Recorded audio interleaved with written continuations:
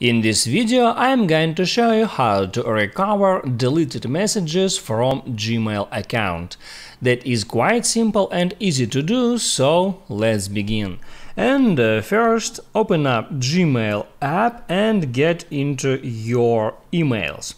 Now here you can hit at these three lines and uh, select some of that categories like primary, and uh, there if you want to delete some email all you have to do is just hold down on that email here. I got email from Google and once it's selected uh, I just can hit there add trash icon to be able to remove uh, that email. So I hit add trash icon. The uh, email has been removed and there if I did it uh, accidentally I can quickly let me show you again I can quickly tap at undo to recover that email immediately. And also if I deleted that email and I want to recover it after time.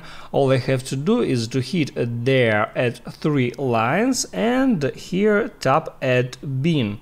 And uh, there would be all your deleted emails uh, and now you can restore it. Just hold down to select it. You can select both at once.